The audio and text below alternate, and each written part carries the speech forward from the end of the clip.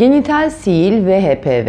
Bugün ne yazık ki sıklıkla bize başvuran hastaların büyük bir çoğunluğunu oluşturmakta. Genellikle genital sil ile başvuran hastalarda düşük risk HPV'nin varlığından şüphe ederiz. Siller genellikle düşük riskli gruptan oluşur. Bu demektir ki eğer bir HPV virüsü aldıysanız ve bunun düşük riskli olma olasılığı söz konusuysa sihirlerinizden sorumlu olanlar muhtemelen bunlardır. Ama bu bir kural değildir. Üstelik bir kişi de aynı zamanda hem düşük riskli hem yüksek riskli virüs de aynı anda olabilmektedir.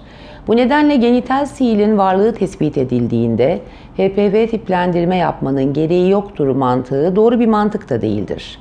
Yapılan tiplendirme sonucunda ki bu sihilden direkt numune gönderilerek yapılabilir, tip 6, 11, 43, 44 gibi virüs varsa bu düşük riskli tip demektir. Bir dakika.